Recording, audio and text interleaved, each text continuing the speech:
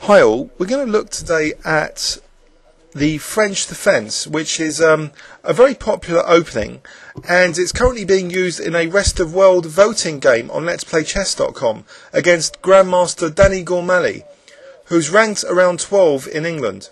So after e4, the French defence is this move e6, and it's a very resilient um, defence, named after a, an old correspondence match.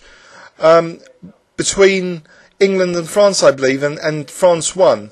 Um, so White's most, most common move is d4 here, and, and Black's reply is d5. So Black's staking a claim in the centre.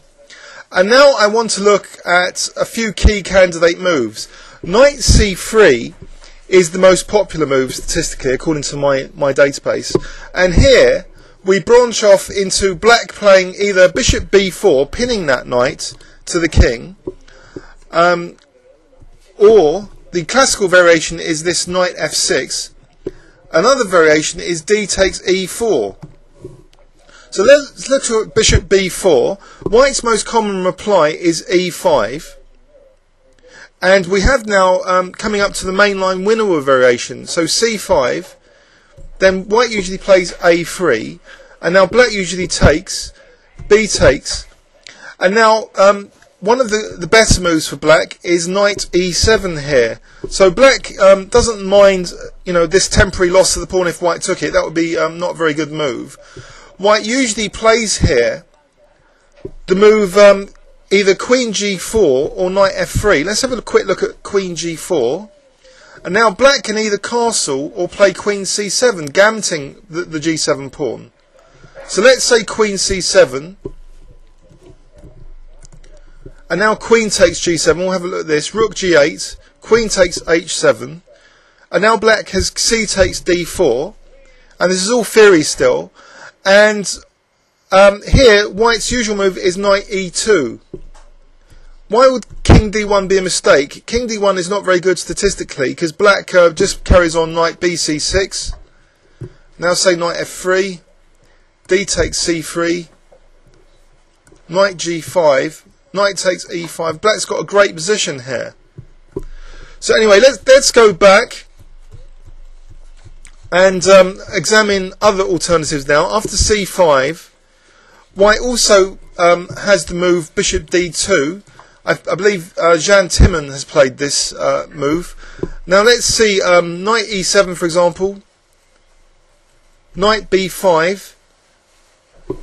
So um, here, encouraging black to play bishop takes d2, queen takes d2, castle. So white's going to, you know, have access to this d square, d6 square. But first, white must protect the d4 pawn.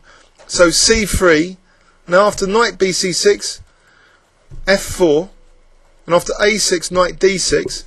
And um, you know this is an interesting line um, for white, but it's it's perfectly okay for black. You know I think it's uh, black can continue with either c takes d4 here or f6. So that's good counterplay for black. So let's go back again. So after bishop b4, there's also moves like an immediate um, e takes d5 or bishop d3. Let's look at e takes d5. E takes d5, bishop d3. Now knight c6 is good.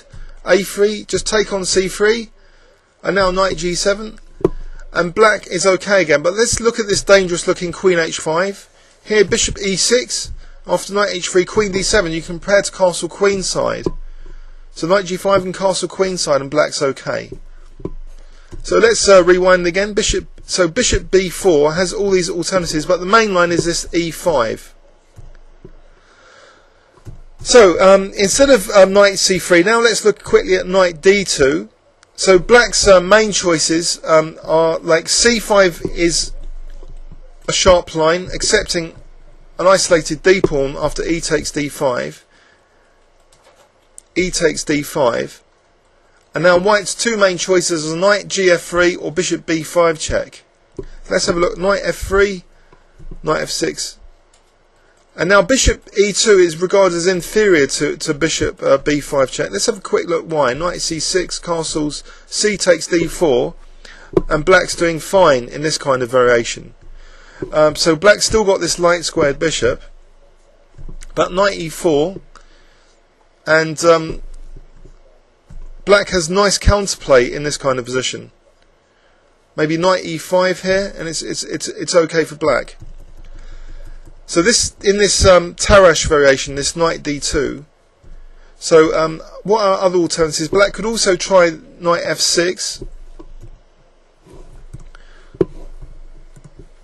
And after e5, knight fd7, bishop d3, c5, c3, knight c6, knight e2, and this is all quite uh, theoretical now. So black biting that pawn chain with f6, and this is still all theoretical. So black playing queen c7 here, bishop g5, castles, bishop h4, and now here the move knight h5 is scoring okay. After queen c2, h6. So this f4 squares is quite sensitive for white. Let's say bishop h7 and now bishop g6. Rook takes f3 is interesting. Bishop takes h5, rook f8, and black's black's fine here. If uh, white had taken with g takes f3, then bishop takes h2, followed by knight f4, and that's that's um, nice for black. So let's rewind again. So um, in this uh, variation, knight d2. So d takes e4 is another way of playing it. So after knight takes knight d7, and now knight f6, and now here h6 is possible, or bishop e7. Let's have a look at bishop e7, for example. And now either knight takes f6 or bishop takes f6. So let's have a look at knight takes f6.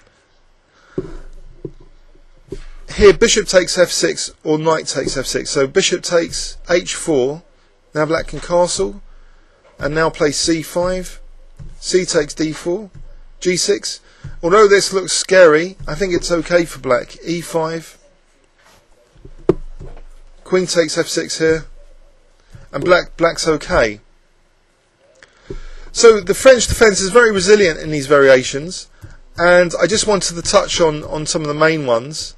Um, so after d5, um, there's also e5, c5. Here's an example of the advanced variation in French. This is a quiet waiting move, bishop d7, scoring quite well, not committing the queen yet. Now knight g7, and now this knight f5. So queen b6, attacking again d4. And in this position, this, this is fine for black as well. If knight h4 here, knight g6, f6, and black's doing fine. So, um, this was a very brief overview of, of, the French defence, some of the main variations. Um, I hope it's uh, of interest to you, and um, please leave any comments on YouTube. Thanks very much.